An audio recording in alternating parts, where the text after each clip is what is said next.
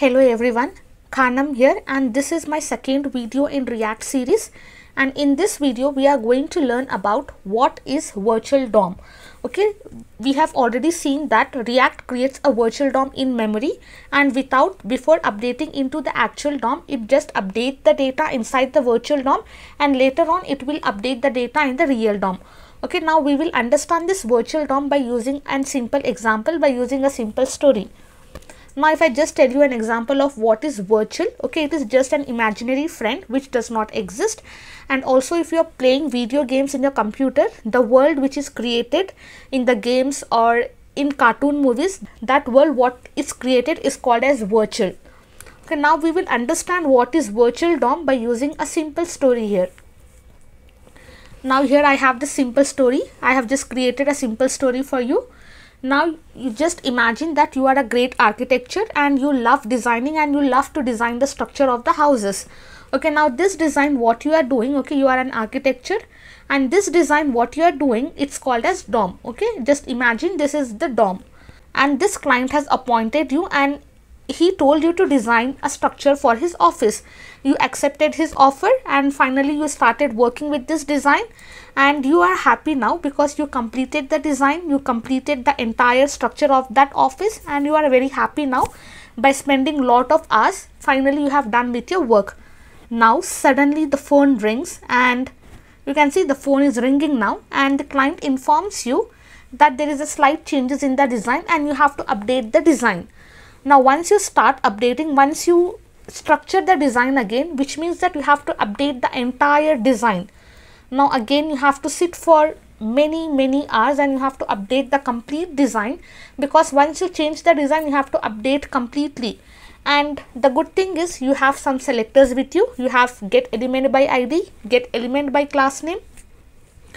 Okay it's basically get elements by class name. Okay you have some selectors. You are accessing that data using this selectors and you are just updating the data.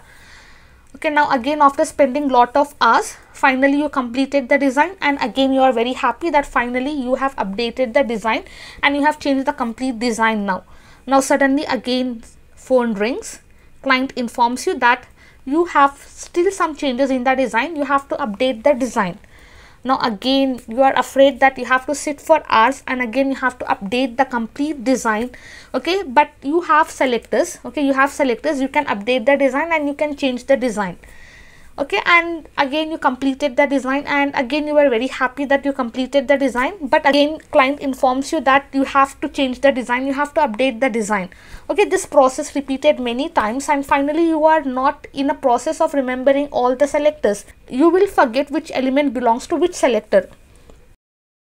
Now finally you are just set up updating the design regularly. But you are a very hardworking person and you did not give up. You continuously you were working hard to make your client satisfied with the design.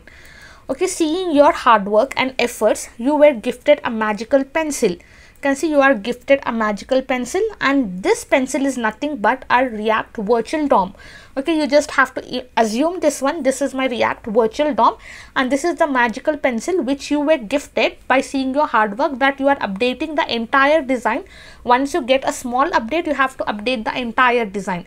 So for that you were gifted this magical pencil and this is nothing but react virtual dom now this pencil has the power that whatever now if the client tells you that this particular update should be done this magical pencil has the power to update only that particular section. Okay you can see it will update only that particular section and later on you can just update that in your original design. Okay this power this pencil has that is nothing but my react virtual dom. Okay in the same way if i just show you this output here you can see here this is my dom and if i want this is my virtual DOM. And inside this if I want to update this data small update we have to load the entire page and we have to update this one. But in virtual DOM if I want to update this section only this particular section will be updated and later on it will be displayed in my actual DOM okay here also this pencil has the same power. Only that particular section it will update. It is not going to touch the original design. Only that section it will update. And based on that it you can update that design in your original design.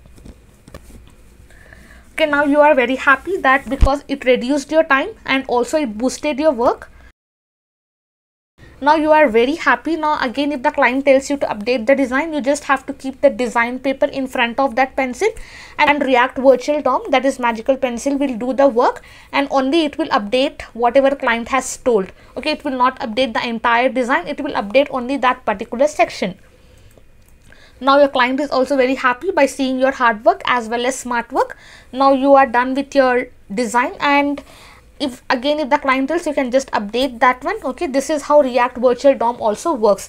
Only that particular section will be updated.